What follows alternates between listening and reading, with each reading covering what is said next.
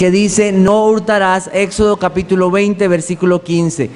Estamos a dos mandamientos de terminar. Yo les animo a que por favor en el último domingo, todos de memoria, digamos los diez mandamientos de acuerdo como está en Éxodo 20 del 1 al 17. ¿Qué prohíbe este mandamiento según el catecismo? Aquellos que enseñaban a sus familias a través de preguntas y respuestas. Decían de este mandamiento lo siguiente, el octavo mandamiento prohíbe cualquier cosa que reduzca injustamente nuestros bienes o los de nuestro prójimo. Vean el entendimiento que estos hombres tenían del octavo mandamiento, reducir injustamente los bienes del otro, no solo quitarles, sino también reducir. A lo mismo, el, catecismo de Heidelberg dice, Dios prohíbe no solo el robo y la rapiña, que castiga la autoridad, sino que llama también robo a todos los medios malos y engañosos con los cuales tratamos de apoderarnos del bien de nuestro prójimo, ya sea por la fuerza o por una apariencia de derecho, como lo son el peso falso, la mala mercancía, la moneda falsa, la usura o por cualquier otro medio prohibido por Dios, también prohíbe toda avaricia y todo uso inútil de sus dones. Entonces vean todo el, entendimiento que tenían los, los, hombres de Dios al estudiar todo el contexto de la palabra de Dios en estas solo dos palabras, no hurtarás. Qué amplia es la palabra de Dios, ¿verdad? Qué amplio es su mandamiento. Y y, cada vez que, profundizamos en ella encontramos tanto para nosotros. Entonces, eh, ¿qué es el hurto?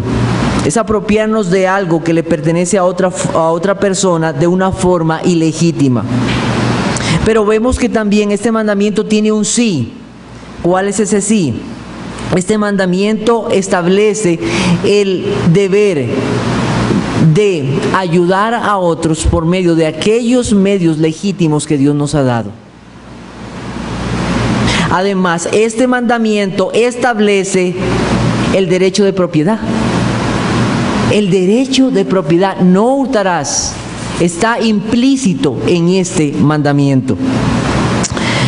¿Qué vamos a ver entonces en esta mañana? Vamos a ver nuestra sociedad y el hurto, todo le pertenece a Dios, el hombre responsable como administrador de los bienes de Dios, las formas de hurto, el trabajo y, este, y los bienes que Dios da, y nuestra esperanza y confianza es Dios. Vamos a, a tratar de ver todo esto en esta mañana. Desde que son pequeños o desde que somos pequeños vemos cómo nuestro corazón se da a la avaricia y a la codicia. Si no es porque nuestros padres nos enseñan a que debemos de compartir, ¿sabe qué haríamos?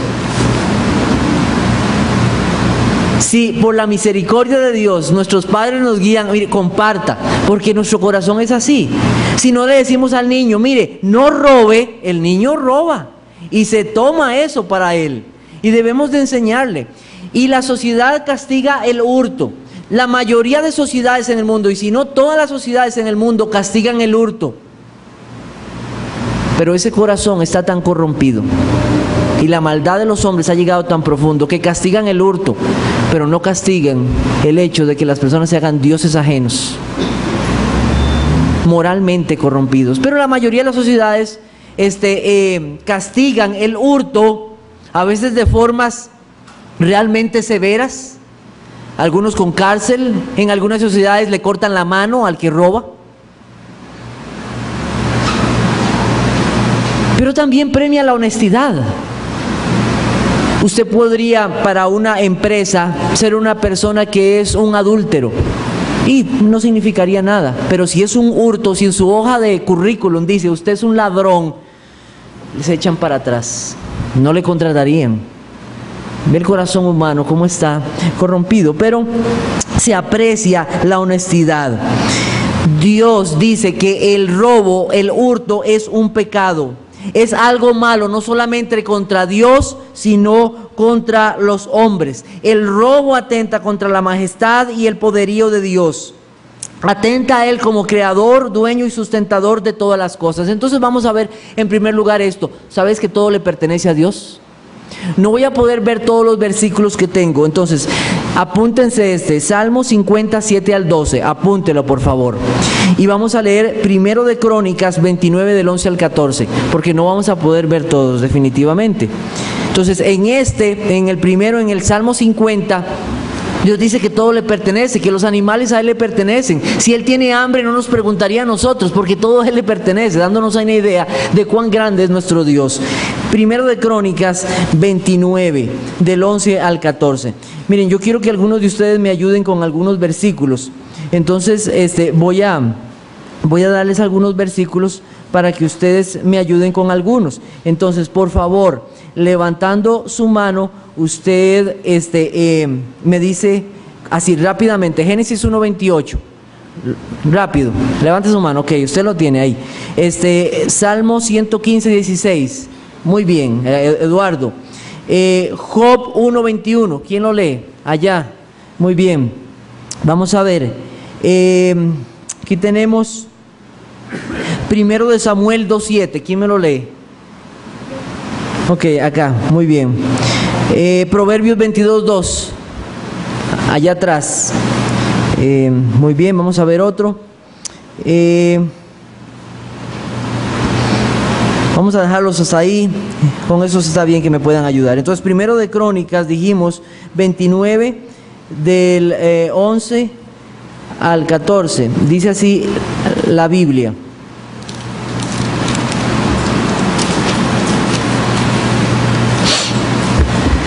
Tuya es, oh Jehová, la magnificencia y el poder, la gloria, la victoria y el honor, porque todas las cosas que están en los cielos y en la tierra son tuyas. Tuyo, oh Jehová, es el reino y tú eres excelso sobre todos. La riqueza y la gloria proceden de ti y tú dominas sobre todo. En tu mano está la fuerza y el poder y en tu mano el hacer grande y el dar poder a todos. Ahora pues, Dios nuestro, alabamos y loamos tu glorioso nombre. No hay lugar donde Dios ponga sus ojos y diga, eso no es mío. Todo le pertenece a Dios. Dios ve los cielos y la tierra y dice, todo me pertenece. No hay nada. De Jehová es la tierra y su plenitud, el mundo y los que en él habitan, dice el Salmo. Todo le pertenece a Dios, absolutamente todo tu casa, tus hijos, tu computadora, todo, tu carro, todo le pertenece a Dios. Y cuando tú vuelvas a tu casa y veas todas las cosas, recuerda, todo le pertenece a Dios. Y así como Él me lo dio, Él me lo puede quitar. Así como Él me lo dio, Él me lo puede quitar. Del mismo modo, nosotros entendemos otra realidad. Siendo Dios dueño de todas las cosas, en su voluntad, Él ha querido delegar a los hombres responsabilidad sobre esta creación y Dios ha dado que los hombres sean administradores de ciertas cosas de Dios, de ciertas cosas de Dios. Pues nosotros vemos eso en Génesis capítulo 1, versículo 28. Por favor los bendijo Dios y les dijo, fructificad y multiplicados, llenad la tierra y sojuzgadla, señoread en los peces del mar, en las aves de los cielos y en todas las bestias que se mueven sobre la tierra. Dios en su misericordia ha dado a los hombres la responsabilidad. Dios es soberano y el hombre es responsable. Esas dos cohabitan juntos. Están juntos, no, no se separan. Eh, Salmo 115, 16. Los cielos son los cielos de Jehová y ha dado la tierra a los hijos de los hombres. Dios no ha renunciado a su derecho sobre la tierra. Dios sigue siendo Dios. Él sigue siendo el poderoso Dios. No hay nada que no le pertenezca, pero Él ha querido que los hombres sean administradores de las cosas que Él, ha, que él ha dado. Job 1.21, ¿qué leíamos o escuchábamos? Y dijo, desnudo salí del vientre de mi madre, y desnudo volveré allá. Jehová dio, Jehová sea el nombre de Jehová Que podamos tener estas palabras en nuestro corazón cuando Dios nos quite cosas. Dios nos dio, Dios nos quitó, sea el nombre de Jehová bendito.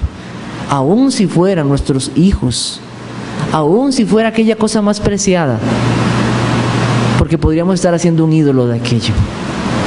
Todo le pertenece a nuestro Dios y meramente somos administradores de las cosas de Dios. Entonces, este pensamiento y este principio debe, debe estar en, nuestros, en nuestras mentes siempre presente.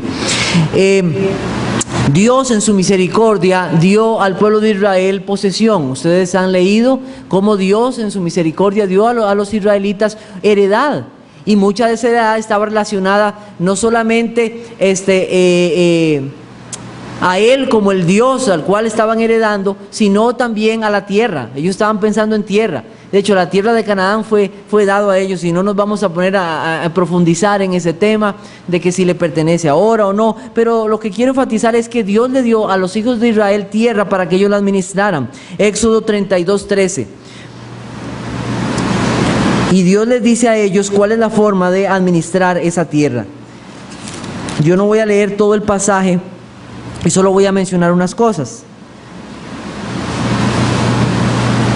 Dice, acuérdate de Abraham, de Isaac y de Israel tus siervos, a los cuales has jurado por ti mismo y les has dicho, yo multiplicaré vuestra descendencia como las estrellas del cielo y te daré y daré a vuestra descendencia toda esta tierra de que he hablado y la tomarán por heredad para siempre. Dios, en su misericordia, dio al pueblo de Israel tierra.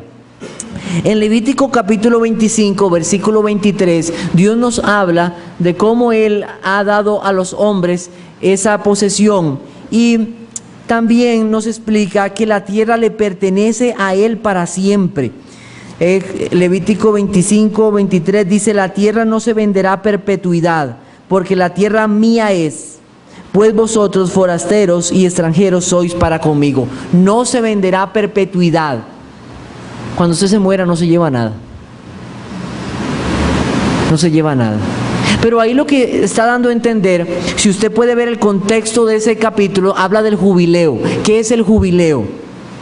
El jubileo fue una, una, una regla que Dios dio con respecto a ciertas cosas, especialmente eh, la tierra, eh, propiedades, eh, aún el trabajo que muchos podían dar cuando empobrecían.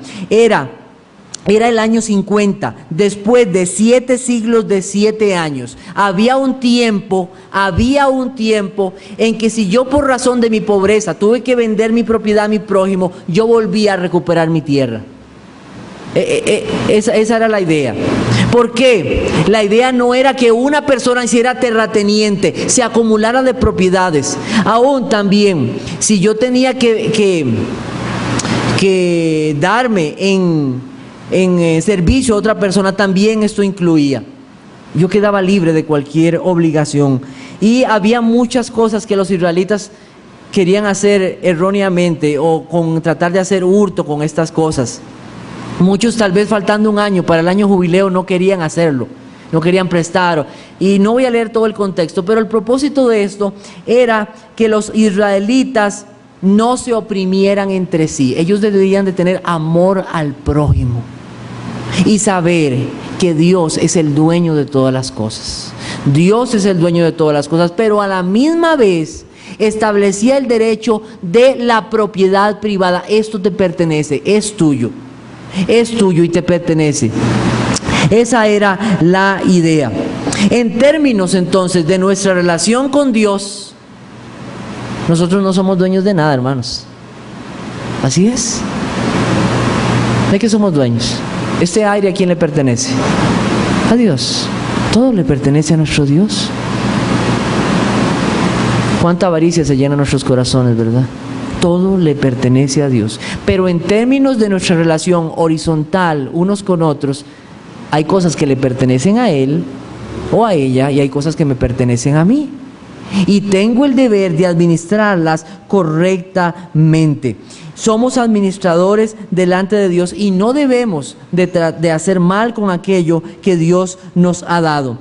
Nosotros recordamos, y no voy a mencionarlos eh, eh, o leer los versículos, pero en Hechos capítulo 5 nosotros tenemos eh, el relato de una pareja, Ananías y Zafira. Ellos tenían una propiedad, ellos iban a venderla, ellos prometieron algo a la iglesia después engañaron, mintieron y no dieron lo que realmente habían prometido. Ellos sustrajeron del precio, mintieron al Señor. Pero la Biblia dice que, ahí, que, lo que ellos tenían, dice el apóstol, era de ellos. Si se lo quedaban, era de ellos. Era su propiedad. Ahí lo tenían. También en Hechos 12, 16, Hechos 16, 15 se nos habla de personas que tenían casas. Menciona mi casa o su casa establece el derecho de la propiedad. Nadie ha anulado esto. Y a veces hay personas que dicen que cosas como que en hechos cuando vemos la iglesia dando unos a otros y vendiendo todas sus propiedades, la Biblia no nos enseña que nosotros debemos hacer siempre esto. Hay ocasiones en que usted podría hacerlo, pero la Biblia enseña el derecho de propiedad y que usted tenga sus cosas. Dios, como dueño de todas las cosas, además de esto, a unos puede dar más y a otros puede dar menos. Primero de Samuel 2.7. ¿Alguien tenía ese pasaje? Ok. Jehová empobrece y él enriquece, abate y enaltece. Ah, ya, ya, ya, los del Evangelio de la Prosperidad este versículo no les gusta, ¿verdad? Jehová empobrece. Así es. De hecho, ser pobre no es algo que deshonre a Dios. Puede hacer que Dios permita y desee que tú seas una persona que no tenga grandes riquezas. Proverbios 22.2.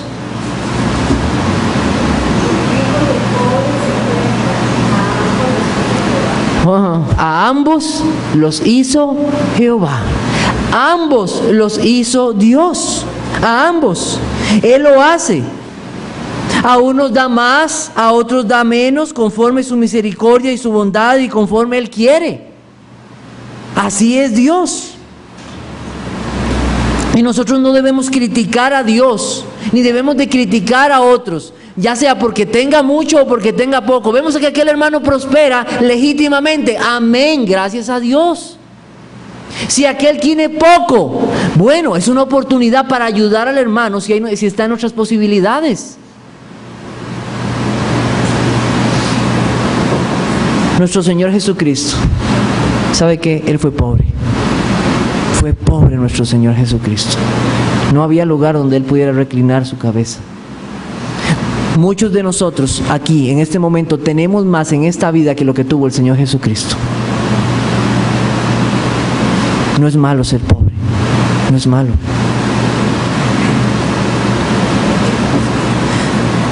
Pero no importa si eres pobre o eres rico, vas a dar cuenta a Dios de lo que Él te ha dado, sea mucho o sea poco. ¿Has pensado en esto por un momento? Que ya sea que tengas mucho o que tengas poco, darás cuenta a Dios por lo que Él te ha dado daremos cuenta a Dios, porque todo le pertenece a Él.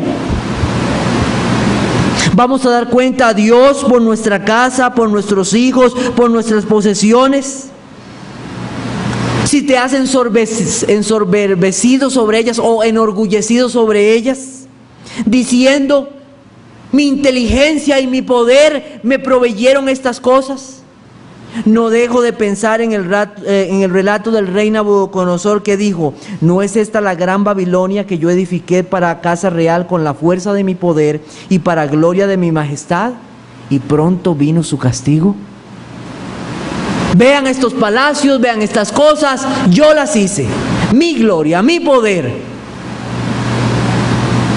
¿Cuántas veces nosotros hemos pecado delante del Señor diciendo, ay, es que yo soy tan inteligente? Que logré estas cosas. Es que yo tengo tanta fuerza que logré esto. Y le has robado a Dios su gloria. Y somos culpables del octavo mandamiento.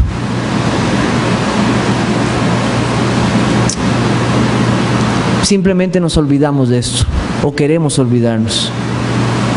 ¿Cuántas veces nosotros nos hemos enorgullecido tanto que olvidamos que hasta otros nos han ayudado a llegar a cierto lugar?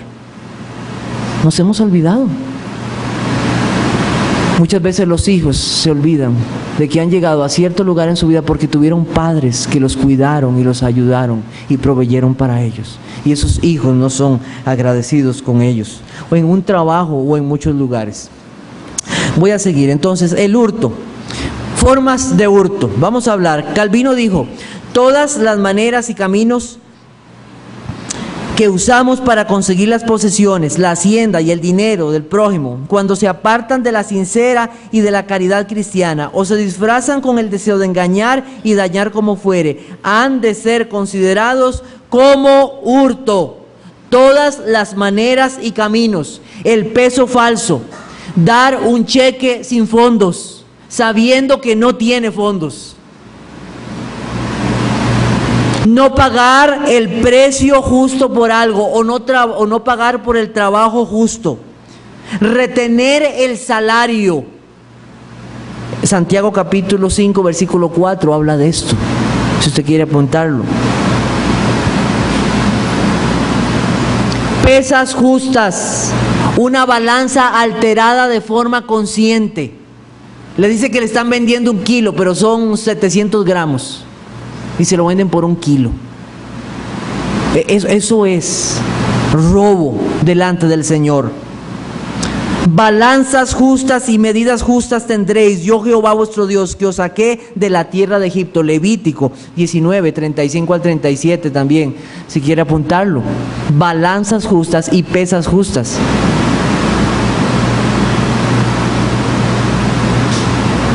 Recuerdo muy lamentablemente, yo viajaba, este, tenía un trabajo que hacía un viaje de Barrio México ahí por, por donde paran las bucetas de San Gerardo en San José. Y siempre viajaba, viajaba, viajaba. Y, yo sabía el precio que, tenía, ¿verdad? El, costo del transporte en un taxi. Pues un día me monto, ¿verdad? Y estoy, y me dice el joven, ¿es tanto? ¿Cuánto? Era el doble de lo que regularmente me cobraban. Entonces agarré mis cosas, me bajé del taxi y le dije, vea señor, esto es lo que yo pago siempre por esto. No saben la gritada que me dio. Pero dije, señor, si quiere llamamos a un tráfico y arreglamos el asunto, pero esto es lo que yo siempre pago. Arrancó el carro y se fue. Eso es. Robo, robo. Malas mercancías, cuando vendemos algo dañado y no lo decimos. Cuando cobramos algo que vale más del precio justo. Cuando engañamos para obtener un artículo. Vamos a buscar Proverbios 20:14. Proverbios 20:14.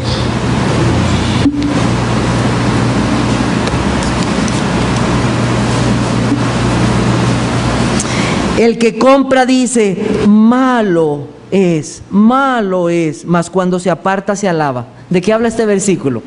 Esto ve un artículo, un comprador llega y ve un artículo, uy, qué malo, eso no vale eso, no, no, no, no, no el precio porque eso no vale eso. Lo agarra, se va y dice, ja, lo engañé. E, eso es, e, e, eso fue el asunto. Así que eh, eh, es un engaño. Sale con su artículo burlándose del que ha engañado. Pedir descuento, si lo hay, no es malo, hermanos. Si lo hay. Pero no abusar del precio sabiendo lo que cuesta. Aprovechándose del costo y trabajo del que lo consiguió. La usura. ¿Qué es la usura? Un interés desmedido ¿Sabía que entre los israelitas el israelita no podía cobrarle interés al pobre? La idea era beneficiarlo, no hacerlo más pobre, ayudarlo. Y eso se vivía en una teocracia. Hoy hay que, hay que pagar un interés justo por las cosas justas, estamos de acuerdo, justo. Pero es una barbaridad lo que nosotros vemos en los bancos y en las tarjetas de crédito. Es un robo. Y lo peor, nosotros accedemos a eso. Y nos embarcamos en, ciertas, en ciertos negocios que, ay Señor, guárdanos de, ese tipo de negocios. Dice Proverbios 14:31, ese no lo di, no. No, dice la Biblia en Proverbios 14:31, el que oprime al pobre afrenta a su hacedor, mas el que tiene misericordia del pobre lo honra. Dice Proverbios 14:31. No devolver las cosas a tiempo. Éxodo 22, 26, si tomares, emprende el vestido de tu prójimo, a la puesta del sol se lo devolverás. Ese solo tenía eso para cobijarse, no tenía más, tenía, había que devolvérselo antes de la noche para que se cobijara. Y el principio es este, si tomas algo prestado de algo, de alguien y le dices, se lo vas a devolver en tal día, hay que devolvérselo. Hermanos, devolvamos los libros, las herramientas, las ollas que pediste prestadas, el libro de cocina, devuélvelo. La prenda, lo que sea, devuélvalo, es hurto. El tiempo. Y la verdad es que tenemos que aprender de la palabra de Dios y, y es algo en lo cual yo tengo gran lucha y es el tiempo y no es porque yo sea un vago. Esta semana trabajé muchas, muchas horas y, y no es excusa, no debemos de poner excusa, pero el tiempo. No debemos de llegar tarde, hermanos. No llegamos tarde al trabajo, no de llegar tarde a las citas, es robarle el tiempo a las otras personas. Le pertenece, es una, una forma incorrecta. El tiempo que has robado a tu familia, el tiempo que has robado a tus hijos. No hurtarás, no robarás. El tiempo que le pertenece a nuestro Dios en el día del Señor, no hurtarás los derechos de autor. Abre tu computadora y fíjate cuántos de tu software ha sido pagado legítimamente. Hay unos que yo sé que son gratis y se descargan gratis, pero hay software de muchos en sus computadoras que no han pagado por él y debieron de haber pagado. No hurtarás. DVDs, películas, robar tiempo en el trabajo, tiempo que deberías estar dedicando al trabajo y lo estás dedicando a otras cosas, robarte la tarea del compañero, el trabajo del compañero, robo, hurto, no pagar los impuestos, tener libros dobles de contabilidad para no pagar los impuestos que debes de pagar. Romanos capítulo 13, versículo 7. Romanos capítulo 13, versículo 7.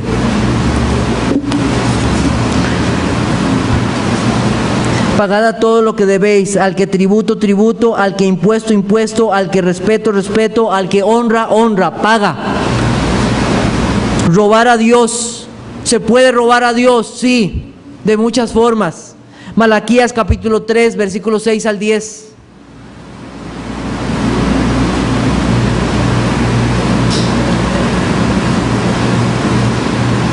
Dice la Biblia lo siguiente.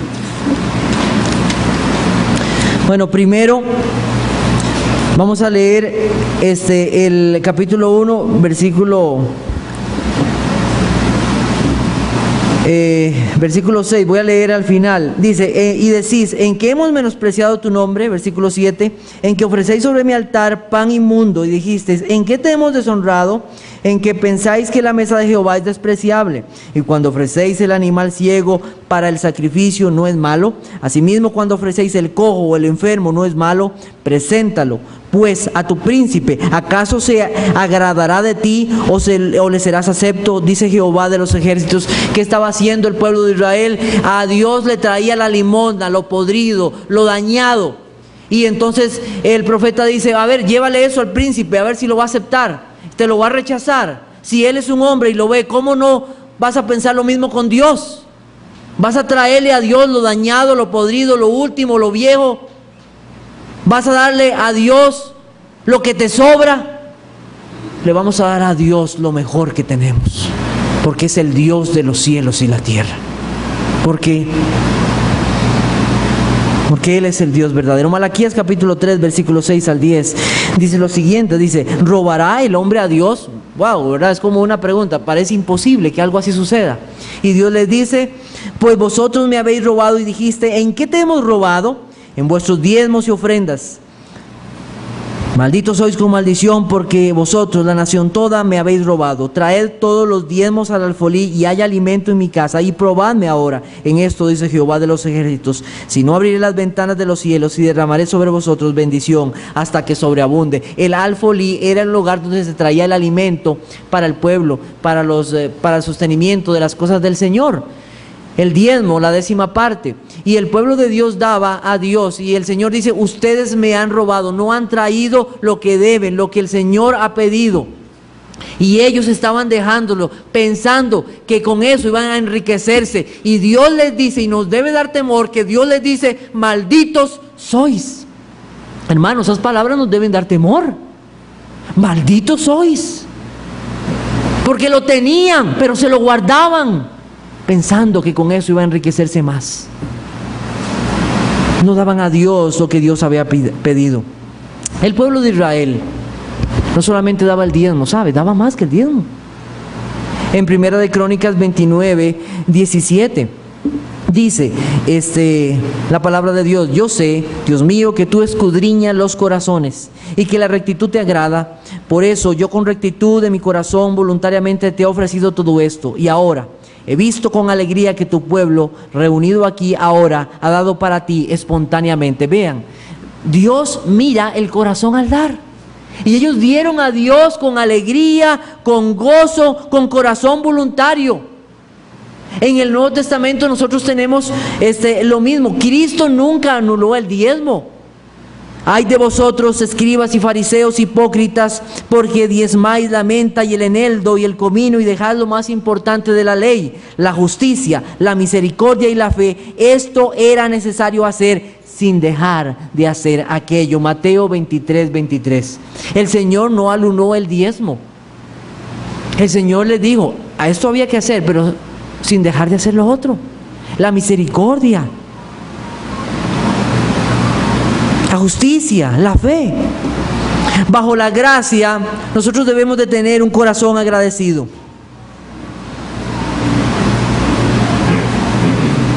Podemos, podemos comprender el diezmo como un parámetro para nosotros, pero no es lo único que podemos dar al Señor. Podemos aún dar más de eso, porque hemos recibido de gracia. Es un Dios de misericordia que nos ha dado, un Dios de amor que nos ha dado aún más. ¿Cómo debemos de dar al Señor? Y yo no quiero hacer de eso un estudio porque no tengo tiempo y no podemos eh, ahondar en todo esto, pero solo voy a mencionar esto. Debemos dar conforme hemos prosperado. Primera de Corintios 16, 2. Dar conforme tú hayas prosperado. Primera de Corintios 16, 2, regularmente y cada uno lo que ha recibido, conforme ha recibido. Dar con alegría. Segunda de Corintios 9, 7, dar con alegría. Primera de Corintios 9, 6 al 10, dar como propusiste en tu corazón y no retrasarlo. Si propusiste esto en tu corazón, dar al Señor, no lo retrases. Dalo al Señor. No dar por necesidad ay, voy a dar esto porque voy a recibir entonces. No, no. Y no, pensar de ese modo. Dar con alegría, no forzosamente. No forzosamente. Dios ha establecido que su obra, sus ministros y los que verdaderamente están necesitados entre el pueblo de Dios sean mantenidos por las ofrendas que el pueblo de Dios trae a la iglesia. El obrero es digno de su salario. El obrero es digno de su salario. Y nosotros sabemos de la forma como hombres que se dicen ser de Dios han abusado y han robado las cosas del Señor. Y teniendo una apariencia de piedad, han tenido ganancias deshonestas. Pero en aquellos que son verdaderos siervos de Dios. Bueno, y, nada más para, decir algo aquí. Si una iglesia no es fiel y sus líderes no son fieles con el uso de sus dineros, sino que hay ganancias deshonestas y hay apariencia de piedad y hay robo. La Biblia dice que nos apartemos de ellos, que nos apartemos de esos hombres. Dios condena las ganancias deshonestas. Pero los siervos de Dios fieles que predican la palabra de Dios tienen un trabajo. El obrero es digno de su salario. Me molesta en demasía personas que creen que los pastores no deben de recibir un salario. Deben de recibirlo. Es un trabajo. Los ancianos que gobiernan bien, 1 Timoteo 5:17, sean tenidos por dignos de doble honor. Y usted puede ver el contexto de ese pasaje, se refiere a una ganancia. Mayormente los que trabajan en predicar y enseñar. Nosotros esperamos el momento en que Dios pueda proveer lo suficiente en esta iglesia para poder mantener un pastor a tiempo completo. Y pedimos a Dios que pueda ser así. Por ahora, los pastores que están aquí tenemos que trabajar para poder proveer para nuestras familias y, que el Señor nos, siga dando las fuerzas para hacer esto y, y también todas las demás cosas. Finalmente, Dios castiga el robo. Dios castiga el robo. Primera de Corintios 6:10 dice, ni los ladrones, ni los avaros, ni los borrachos, ni los maldicientes, ni los estafadores heredarán el reino de Dios. Ningún ladrón heredará el reino de Dios. Sépalo, sepámoslo. ¿Cuánto tenemos que correr, correr a nuestro Señor Jesucristo? que Él nos salve, que Él tenga misericordia de nosotros y que nos perdone. Y aquellos, aquellos que han robado, una forma de mostrar que realmente han sido cambiados por la obra del Espíritu Santo es devolver aquello que han robado y retribuirlo. Es fruto de, de una vida cambiada. El trabajo y disfrutar de los bienes que el Señor nos da es lícito. ¿Cuál es el medio honesto y justo que Dios nos ha dado? El trabajo lícito que no se opone a los mandamientos y a los preceptos de Dios. Porque el mundo está tan corrompido que ahora a la prostitución le llaman trabajadoras del sexo. Eso, eso, eso no es así tienen que ser trabajos lícitos bajo los principios que Dios ha dejado en su palabra, medios justos.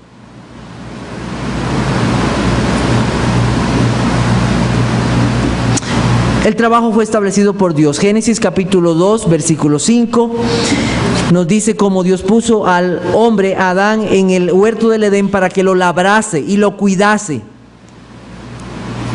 Antes de la caída ya el hombre tenía trabajo, así que es cuando nosotros escuchemos a personas que nos dicen esa, esa cosa como el trabajo es tan feo que hay que pagarlo. Eso, eso no es correcto delante del Señor. Los cristianos debemos ver el trabajo como una bendición del Señor hacia nosotros. La provisión y el medio justo sobre él, sobre, por el cual Él nos da para que nosotros podamos cuidar de nuestras familias, proveer para la obra de Dios y ayudar a nuestro prójimo. Dice Génesis 3:19, con el sudor de tu rostro comerás el pan hasta que vuelvas a la tierra, porque de ella fuiste tomado, polvo eres y al polvo volverás. Como dijo el pastor Sugel Michelén, con el sudor de tu frente, no con el sudor del que está al frente. Entonces, con el sudor de nuestra frente, trabajo, trabajo. Efesios capítulo 4, versículo 28.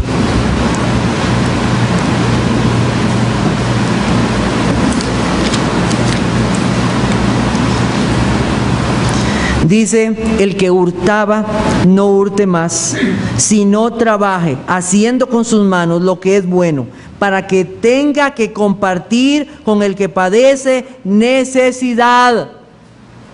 El que hurtaba, no hurte más. El que ha sido cambiado por la obra de Cristo ya no trabaja con sus manos. Es laborioso y tiene una disposición a trabajar. Mire, yo he visto personas, me ha impresionado a mí personas que no teniendo manos con sus pies trabajan. Ah, yo lo he visto, es increíble. Yo, creo que a veces muchos buscan excusas para no trabajar más bien y vivir de los otros. Es, lo que yo he visto. Segundo de Tesalonicenses o segunda de Tesalonicenses 3, 6. Hay una amonestación aquí bien fuerte porque ellos dicen, bueno, el Señor ya viene, ya dejemos de trabajar, ya no más.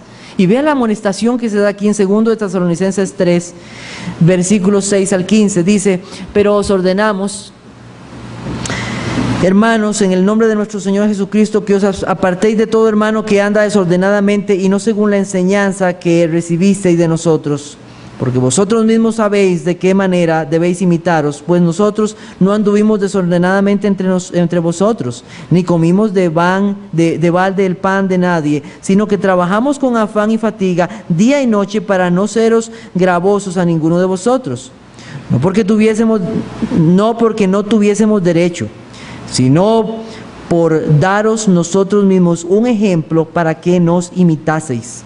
Porque también cuando estábamos con vosotros os ordenábamos esto, si alguno no quiere trabajar, tampoco coma. Una cosa es no querer trabajar y otra cosa es no poder trabajar. El apóstol Pablo trabajó para dar un ejemplo a los hermanos. Él no tenía una familia que mantener. Y él agradeció grandemente cuando los hermanos proveyeron para él, para la obra del ministerio le fue necesario.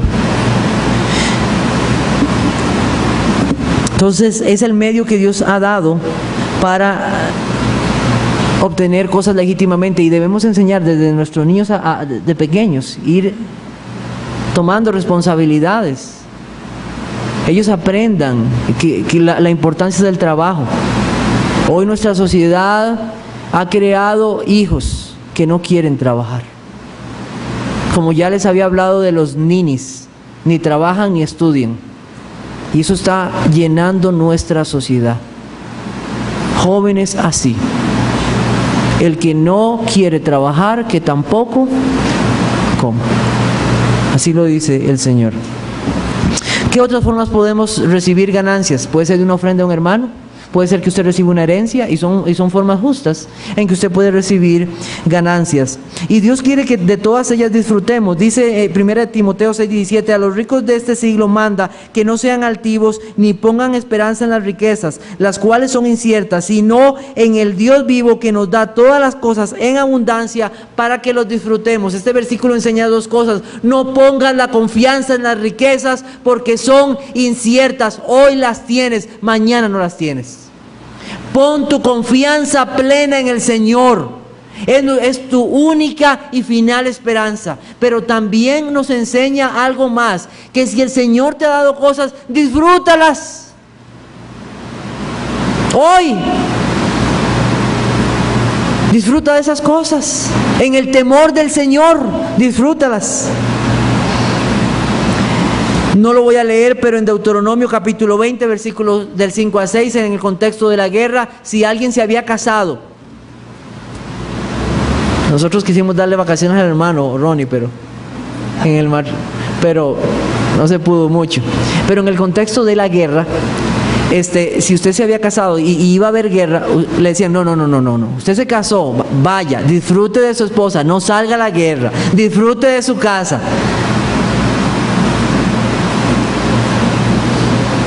Dios bendice.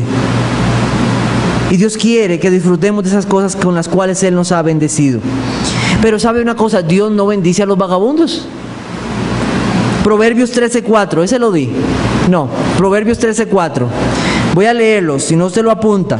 El alma del perezoso desea y nada alcanza, mas el alma de los diligentes será prosperada. El alma del perezoso, el perezoso no ha perdido el deseo, usted sabe. El que ganas de tener aquello, pero no se levanta temprano, no estudia, no trabaja, pero como desea. Desea y desea y no trabaja y no se esfuerza. Este versículo tampoco enseña que el que se esfuerza y trabaja va a tener muchas ganancias. Puede hacer que no. Puede hacer que no.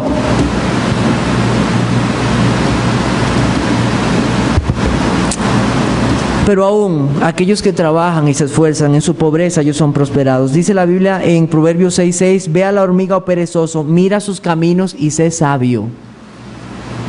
Lea Proverbios capítulo 6, la hormiga, cómo trabaja, cómo acumula, cómo guarda. ¿Cuál es la idea del trabajo? Es un medio por el cual Dios nos provee para nuestras familias y ayudar a otros y servir a la obra de Dios con el fin que Dios ha provisto para ello. El trabajo no es un fin en sí mismo, es un medio para ayudar a otros. Y el que tiene bienes en este mundo y ve a su hermano con necesidad y, le dice, no, no, Dios te bendiga, ese no ama, ese no ama. Primera de Juan 3, 17 dice lo siguiente, pero el que tiene bienes de este mundo y ve a su hermano tener necesidad y cierra contra él su corazón, ¿cómo mora el amor de Dios en él? Si Dios te ha dado riquezas, Dios se va a pedir cuenta de ello. Mira cómo las administras, mira cómo provees para tu familia, cómo sirves al pueblo de Dios con ellas y cómo ayudas al prójimo.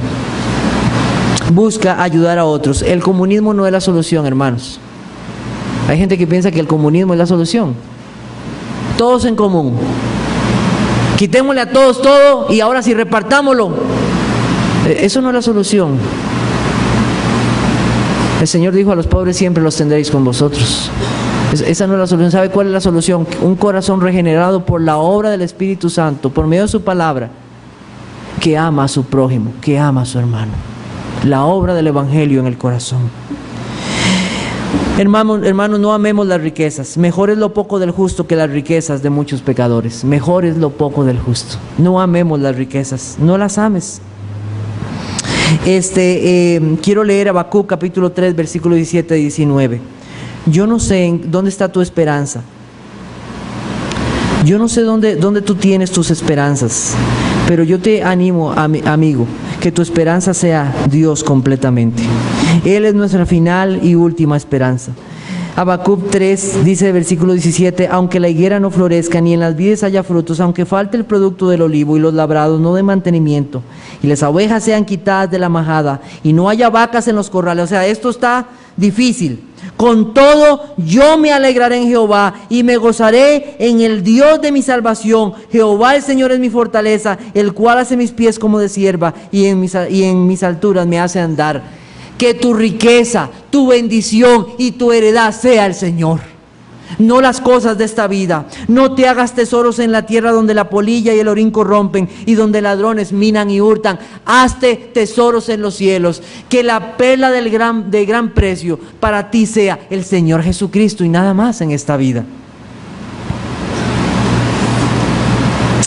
Cristo se hizo pobre para hacernos ricos, porque ya conocéis la gracia de nuestro Señor Jesucristo, que por amor a vosotros se hizo pobre, siendo rico, para que vosotros con su pobreza, pobreza fueseis enriquecidos.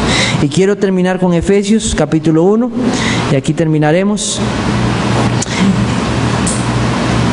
Efesios capítulo 1.